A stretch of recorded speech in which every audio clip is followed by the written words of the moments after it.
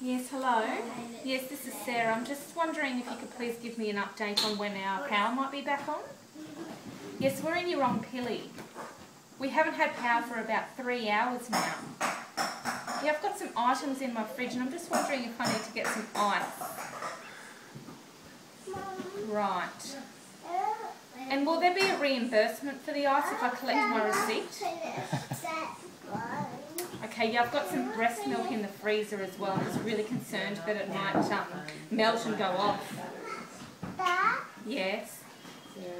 Okay, all right. Right. Yeah, no, I know. I understand it is a bit of a disaster zone. There's a lot of people in a lot of trouble. But like I said, we don't have the internet. We don't have the YouTube. Yeah, we need it because my cousins, my cousins down in WA posted a barbecue party. Yeah, they really wanted to show me some cool stuff they did.